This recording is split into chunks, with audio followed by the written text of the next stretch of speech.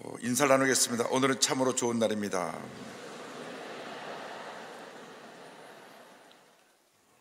한 번 더 인사 나눕니다. 모든 것이 하나님의 은혜입니다.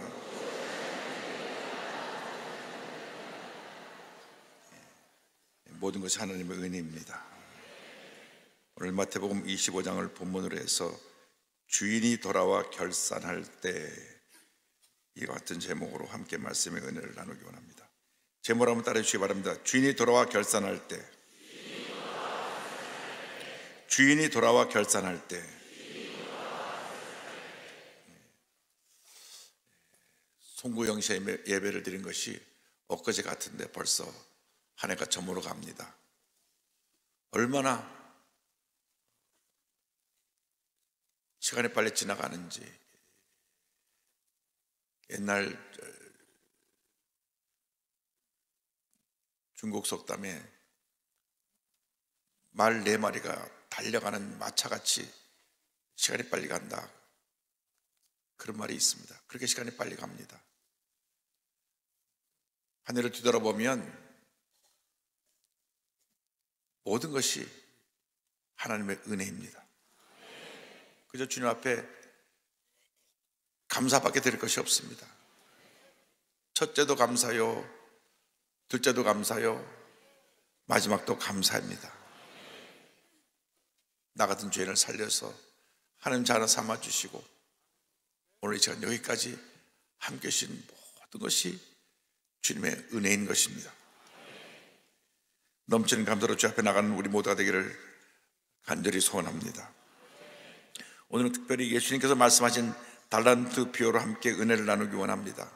잘 아시는 대로 한 부자 주인이 멀리 타국을 가면서 신임하고 있던 종들을 부릅니다. 종들에게 자기 재산을 맡겨주면서 이것을 잘 관리하고 이것을 갖고 열심히 일 해서 많은 이익을 남겨라.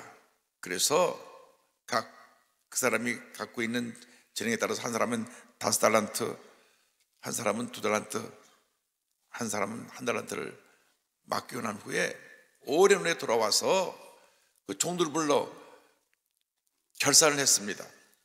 그런데 다섯 달란트, 두 달란트 받은 사람은 갑절을 남겼고 한 달란트 받은 사람은 그걸 땅에 묻어도 아무 일 하지 않아서 그냥 한 달란트만 갖고 나왔습니다. 먼저 각 자기의 소유를 맡긴 주인에 대해서 함께 생각해 보기 원합니다. 마태복음 2장 15절에 각각 그 재능대로 한 사람에게는 금 다섯 달란트를 한 사람에게는 두 달란트를 한 사람에게는 한 달란트를 주고 떠났더니 성경은 말씀합니다. 주인이 멀리 가면서 종들에게 다섯 달란트, 두 달란트, 한 달란트를 맡겼는데 한 달란트가 얼마냐면 6천 데나리온입니다. 한 데나리온은 하루 일한 품삯입니다. 그러니까 하루 나가서 10만 원을 우리가 번다고 하면 6천 데나리온이면 무려 6억.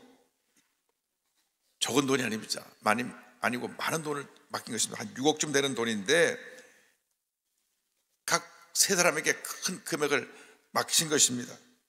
하나님께서 우리 예수 믿고 난 다음 우리의 재능에 따라서 각기 사명을 주시고 많은 일을 우리에게 맡기셨습니다. 우리 한 사람 한 사람이 예수 믿고 나서 깨닫게 되는 것은 모든지 하나님의 은혜로 된 것이고 우리 각자 각자의 사명을 주셨다고 하는 것입니다.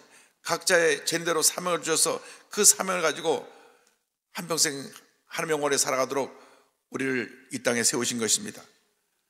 하나님 앞에서의 의식을 가지고 우리에게 맡겨진 사명을 잘 감당할 때 하나님 앞에서 우리는 복받은 인생을 살아갈 수 있게 될 것입니다. 내가 어디서 무엇을 하든지 내게 준 사명이 무엇인지 선생님은 가르치는 사명을 주기 때문에 학생들을 잘 가르쳐야 되고 학생은 배우는 자세로 열심히 공부를 잘해서 준비되어져서 장작 큰 일을 해야 되고 직장인은 직장에서 사업을 경영하는 사람 사업장에서 법조인은 그 자기의 주신 법률 전문가의 재능을 가지고 있는 곳에서 또 의료인은 병을 고치는 일에 예술인은 그 예술을 통하여 하나님의 올라타는 일에 귀하게 쓰임 받아야 되는 것입니다. 우리 각자 각자에게 준 사명이 무엇인지 그 사명을 가지고 우리 열심히 일하고 있는지 우리 자신을 한번 돌아봐야 합니다.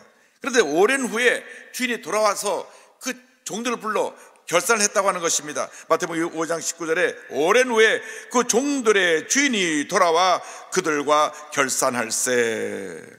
이때 다섯 달란트, 두 달란트 받은 사람들은 갑조로 남겼다고 주님에게 와서 보고합니다. 우리 모두도 언젠가 하나님 앞에 서서 우리가 한평생 우리가 맡긴 사명을 가지고 우리가 얼마큼 주님을 위해 일하는가 우리의 한 삶의 행위의 결과에 따라 하나님 앞에 심판을 받게 될 것입니다.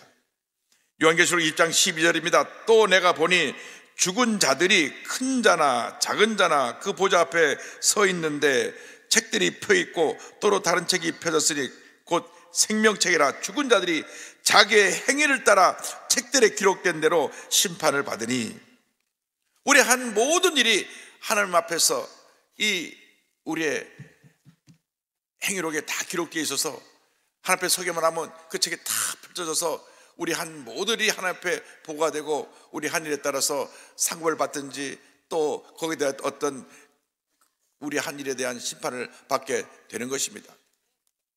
하나님 앞에 설 때 한 사람도 빠짐없이 칭찬받고 상급받는 주님의 견꾼들이 다 되시기를 주님의 이름으로 축원합니다. 갑절로 남긴 자들에 대한 칭찬에 대해서 함께 생각해 보기 원합니다. 이 갑절로 남긴 사람들은 그 자세가 종들의 자세가 주인 앞에서 주인이 인정받을 만한 모습이었습니다. 25장 20절에 다섯 달란트 받았던 자는 다섯 달란트를 더 가지고 와서 이르되 주인이여 내게 다섯 달란트를 주셨는데 보소서 내가 또 다섯 달란트를 남겼나이다 이렇게 보고합니다. 내게 다섯 달란트를 주셨는데 내게 두, 두 달란트를 주셨는데 그들의 자세는 주님이 주인이 내게 주신 것으로 내가 열심히 일을 해서 이 같은 좋은 결과를 얻게 된 것입니다. 내가 이같이 갑절로 남길 수 있었던 것은 주인께서 저를 믿고 많은 것을 맡기셨기 때문입니다.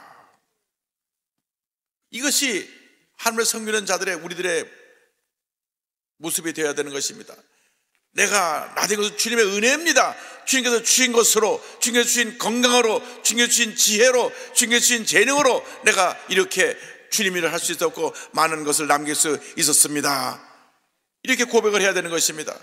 올 한 해를 뒤돌아보면서 내가 올 한 해 지내온 모든 것이 주님에게 내게 주신 것으로 내가 열심히 주님을 위해 살았기 때문에 이 어떤 복을 받게 된, 된 것입니다. 이런, 이러한 고백이 주님 앞에 드려져야 되는 것입니다. 사도 바울은 고백합니다. 나의 나 된 것은 주님의 은혜라. 주님의 은혜입니다. 내가 한 모든 것은 주님의 은혜로 된 것입니다. 그는 고백했습니다. 고린도전서 15장 10절입니다. 그러나 내가 나 된 것은 하나님의 은혜로 된 것이니 내게 주신 그의 은혜가 헛되지 아니하여 내가 모든 사도보다 더 많이 수고하였으나 내가 한 것이 아니요 오직 나와 함께 하신 하나님의 은혜로라. 많은 사람들은 자기가 어떤 일을 하고 난 다음에 자기 업적을 자랑합니다. 내가 이 같은 일을 했습니다. 이 같은 일을 했습니다. 요즘 우리나라 정치인들이 과거의 정치인들의 업적을 평가합니다. 그래서 우리 박재현 대통령 때 경부 고속도로를 깔고 경제개발 500여 년 계획했던 것 그것을 우리가 너무 과소평가한 부분이 있습니다. 이승만 대통령이 건국 대통령으로 기독교 신앙으로 국회에서 기도로부터 시작했던 이것이 그동안 묻혀져 있습니다. 또 이런 여러 가지 얘기들이 나오는데 그것은 그 사람이 한 업적에 대한 평가지만은 우리 기독교인의 입장에서는 우리는 하나님의 은혜로 이렇게 이런 것을 이루었습니다. 고백할 수 있는 주님의 자녀들이 되어야 할 것입니다. 한 해 동안 함께 해주시고 넘치는 부어주신 하나님께 감사 또 감사를 드리는 여러분 모두 되기를 바랍니다. 이런 고백을 듣고 주인이 칭찬합니다. 25장 21절에 그 주인이 이르되 잘하였도다 착하고 충성된 종아 내가 적은 일에 충성하였으며 내가 많은 것을 내게 맡기리니 내 주인의 즐거움에 참여할지어다 하고 성경은 말씀합니다. 그런데 마태복음 25장 21절이나 23절 보면 다섯 달란트 받은 고 다섯 달란트를 남긴 사람에 대한 칭찬이나 두 달란트를 받고 두 달란트를 남긴 사람에 대한 칭찬이나 글자 하나 틀리지 않고 똑같이 저들을 칭찬하는 것을 알 수 있습니다. 그들의 칭찬이 똑같았는데 그 칭찬의 내용이 첫 번째가 잘하였도다. 참 잘했다. 그들은 주님 보, 주인 보직에 참 잘하는 것입니다. 인정받을 만한 모습으로 헌신했던 것입니다. 우리는 하나님 보시기에 하나님이 인정받을 만한 그러한 모습으로 살아가야 할 것입니다. 사람이 나를 어떻게 보냐? 그건 두 번째 문제입니다. 하나님이 나를 어떻게 보시느냐? 하나님의 나의 삶에 대해서, 나의 행위에 대해서, 내가 한 모든 일에 대해서 어떻게 나를 보고 평가하시느냐? 이것이 중요한 것입니다. 잘하였도다. 이렇게 하나님께 인정받는 여러분 모두가 되기를 바랍니다. 그 다음에 착하고라고 하는 칭찬이 나옵니다. 착하고라는 말은 마음이 착하고 올바르고 정직하다. 또 탁월하고 우수하며 쓸모있다. 이런 뜻입니다.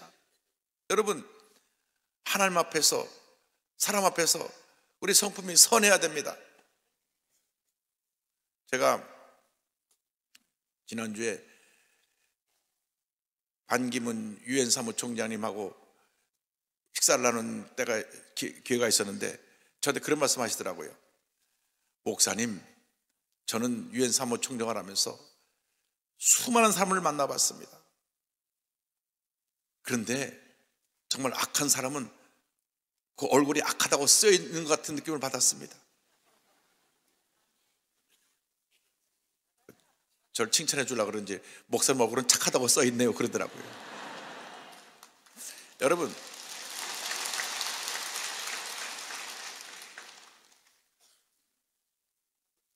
사람들 앞에서도 악하다고 인정받으면 어떡합니까? 그러면서 저한테 하신 말씀이 목사님 그런 사람들 평생 안, 안 만나보셨겠지만 저는 그런 사람들 많이 만나봤습니다. 아주 잔인무도하게 악을 행하는 독재자들도 만나보고 전 세계를 다니며 많은 악한 사람들을 만나봤는데 착한 사람들은 그 얼굴에 다 쓰여 있습니다. 그런 얘기를 하더라고요. 여러분, 하나님 앞에서 착하고라는 인정을 받아야 됩니다. 그래야 사람들 앞에서도 야, 저 사람은 선한 성품을 가진 사람이다. 인정을 받게 되는데 저 사람은 얼굴에 그냥 악한 사람이라는 모습이 그냥 써 있는 것처럼 얼굴이 독하게 생기고 악하게 생겼다. 이런 말을 들으면 안 될 것입니다. 옛날에 황수관 박사님이 그런 말씀 하시더라고요. 예수 믿기 전에는 눈이 이렇게 올라고 그래갖고 굉장히 사람들이 볼 때 성질 있는 사람처럼 뵀는데 예수 믿고 나서 성질이 완전히 달라지고 나니까 천사처럼 변했다고. 여러분 모습이 착한 모습으로 변화되기를 바랍니다. 충성된 종이라고 했습니다. 충성된 종. 최선을 다하는 사람. 여러분, 최선을 다할 때 그에게 하나님이 성공이나 선물을 주시는 것입니다. 무엇을 해도 적당히 하면 안 됩니다. 여러분, 모든 데 충성하고 헌신할 때 복을 받게 되는 것입니다. 무엇 하나 해도 정성껏 하고 최선을 다할 때 하나님께서 그 사람의 복을 내려 주시는 것입니다.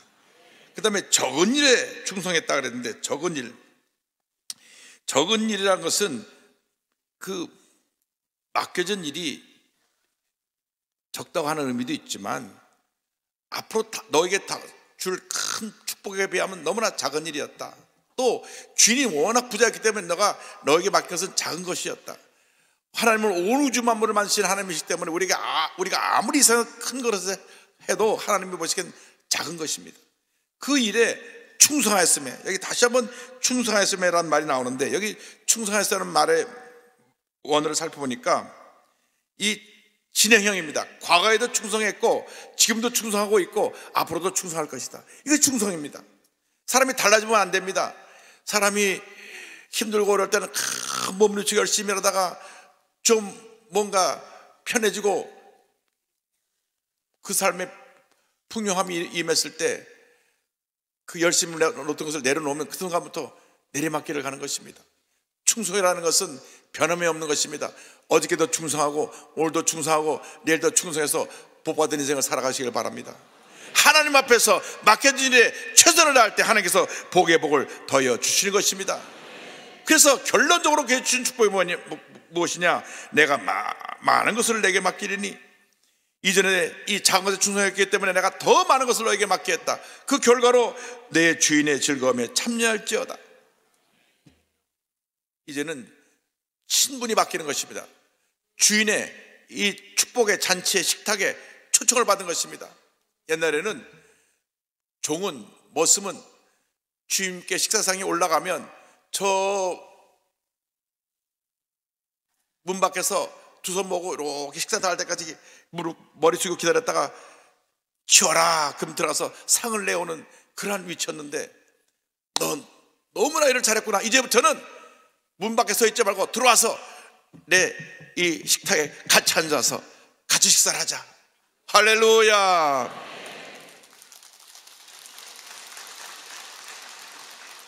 우리가 신분이 바뀌어진 거예요 모습으로 있다가 주인의 위치로 올라가게 된 것입니다. 여러분 복 받은 인생이 되었습니다. 하나님의 일에 충성하면 하나님 우리를 높여주시는 것입니다. 하나님의 자녀로 예우해 주시는 것입니다. 복 받은 인생이 되게 만들어 주시는 것입니다. 그 같은 복 받은 인생을 살아가는 여러분 모두가 되기를 바랍니다. 그런데 악하고 게으른 종은 어떻게 되었습니까? 24절 25절입니다. 한 달한테 받았던 자는 와서 이르되 주인이여 당신은 굳은 사람이라 심지 않은 데서 거두고 해치지 않은 데서 모으는 줄을 내가 알았으므로 두려워하여 나가서 당신의 달란트를 땅에 감추어 뒀었나이다. 보소서 당신의 것을 가셨나이다. 이 종은 주인에 대해서 부정적인 생각으로 가득 차 있었어요. 부정적인 생각은 마귀가 집어넣어 주는 것입니다. 주인이 참 인격적이고 훌륭한 주인이시고 또 종들을 믿고 많은 것을 맡겨주심에도 불구하고 이 종은 우리 주인은 워낙 마음이 굳은 사람이라 내가 나가서 실수하거나 이것을 손해를 보면 나를 크게 징계하실 거야. 그러니 아예 나가서 일하지 말고 땅에다 묻어둬야 되겠다. 이 부정적인 생각 이것은 아담과 하와가 죄를 짓게 된 그 원인입니다. 마귀가 집어넣어 줬습니다. 전능하신 하나님, 선하신 하나님을 의심하게 만들고 부인하게 만들었기 때문에 선악과를 먹어서 죄가 들어오게 된 것입니다. 여러분, 예수 믿고 나서 우리가 철저하게 싸워야 되는 것은 부정적인 생각입니다. 절대 긍정, 절대 감정 무장해서 부정적인 생각을 쫓아내야 되는 것입니다.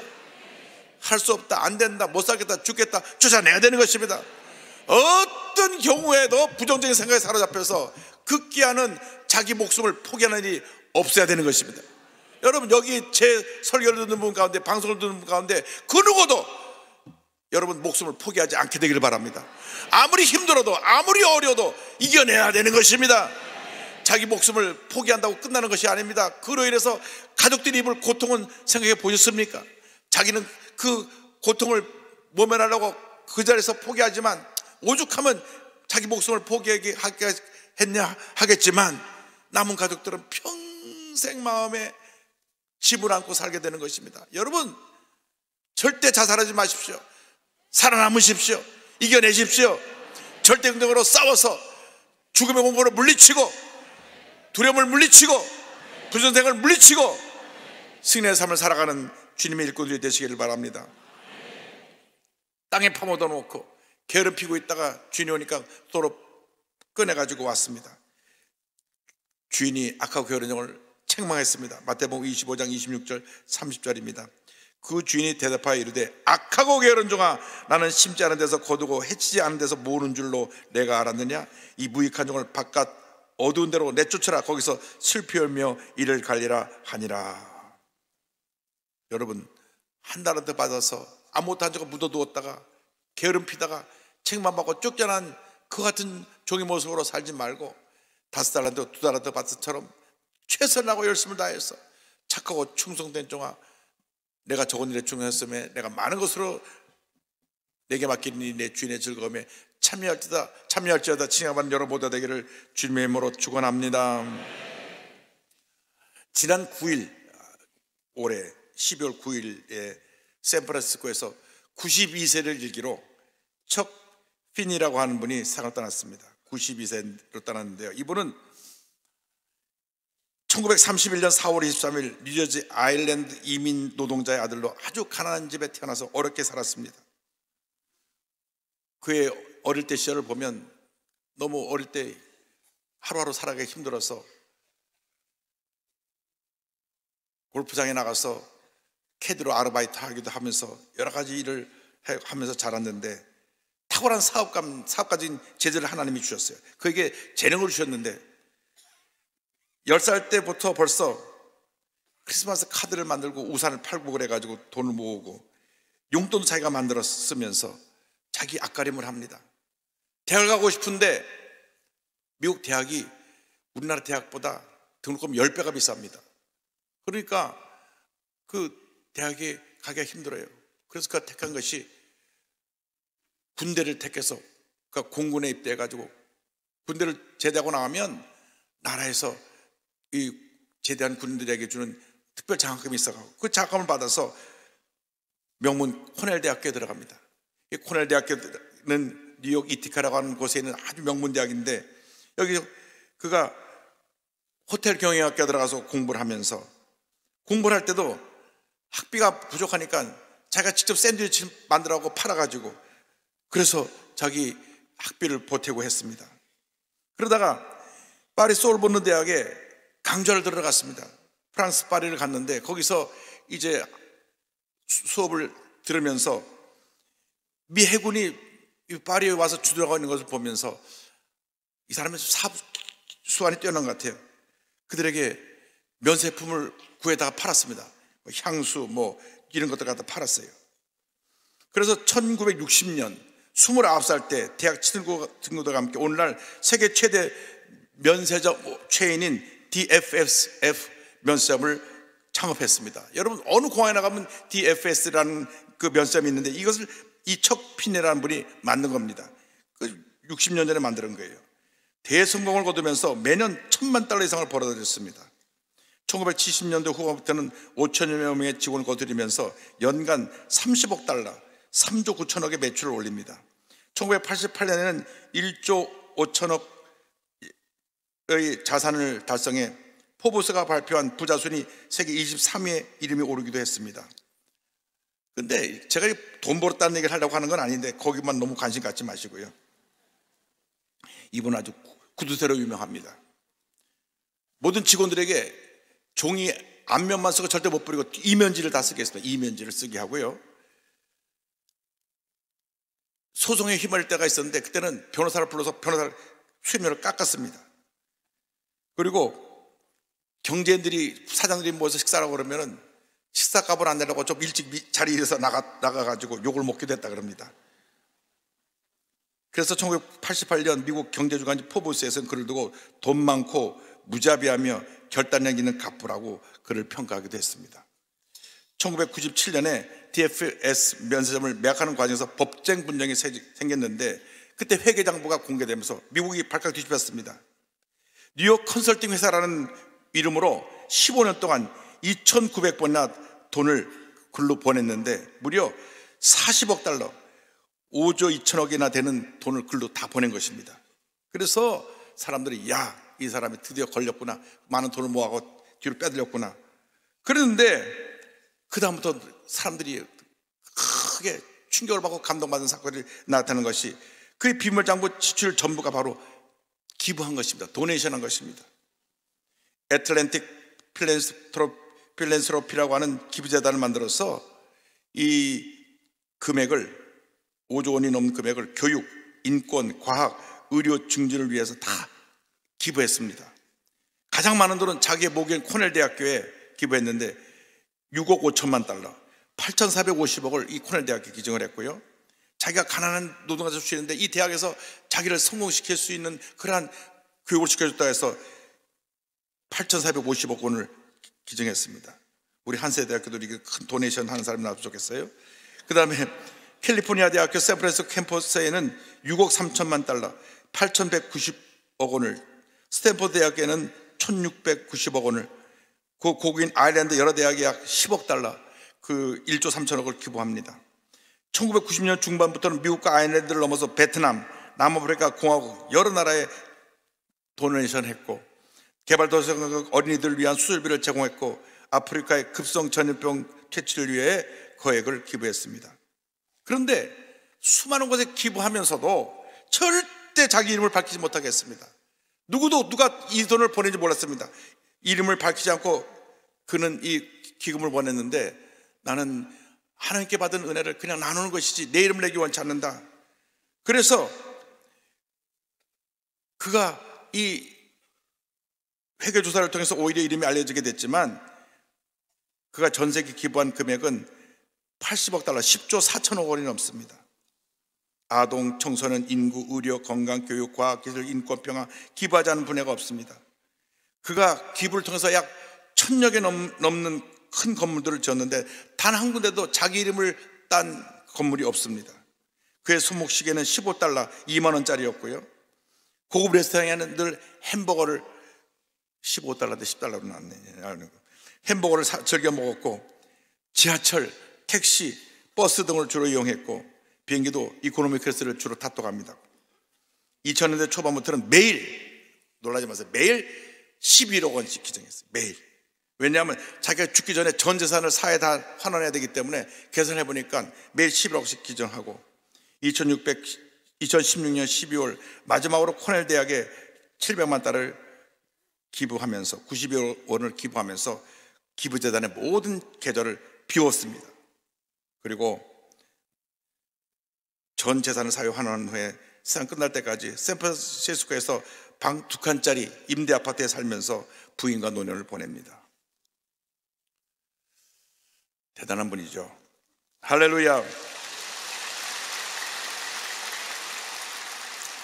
워렌 버핏은 글을 두고 그는 모범을 보였다. 나의 영웅이자 빌 게이츠의 영웅이며 모두의 영웅이 되어야 한다라고 말했습니다. 빌 게이츠는 놀라운 롤모델이자 삶에도 베푸는 최고의 모범사라고 말을 했는데 그는 자기의 자선에서 이런 글을 남겼습니다. 내 마음속에는 결코 변하지 않는 한 가지 생각이 있었다. 불을 사람들을 돕는 데 써야 한다는 것이다. 여러분도 한 번 해보면 마음에 들 것이다. 게다가 죽어서 기부하는 것보다 살아있을 때 기부하는 것이 훨씬 더 즐겁다. 여러분, 평생 모으기만 하고 쓰지 못하고 죽으면 자녀들끼리 밤낮 지단 싸움하고 소송하느라고 정신이 없어요. 돈을 모으고 쓰지 못하는 어리석은 부자가 되지 말고 돈을 버는 대로 잘 써서 이렇게 사람 앞에 존경받고 인정받고 하나님의 큰 성을 쌓는 그러한 믿음의 부자들이 다 되시기를 바랍니다. 여러분, 진짜 부자는 잘 쓰는 사람입니다. 평생 모아놓고 쓰지 못하고 죽으면 그렇게 가까웠던 자식들끼리 다 원수가 되더라고요. 그래서 우리는 이 척필을 통해서 물질을 쓰는 지혜를 배워야 됩니다. 우리가 하나님 앞에서 받은 그 물질을 하나님 영광에서 귀하게 값지게 쓸 때 하나님께서 더 큰 은혜와 축복을 주시고 더 큰 상급을 우리에게 내려줄 줄 믿습니다. 한평생 주님의 은혜 감사하면서 베풀고 나누고 구제하고 선교하며 살아가는 여러분 모두 되기를 주님으로 축원합니다.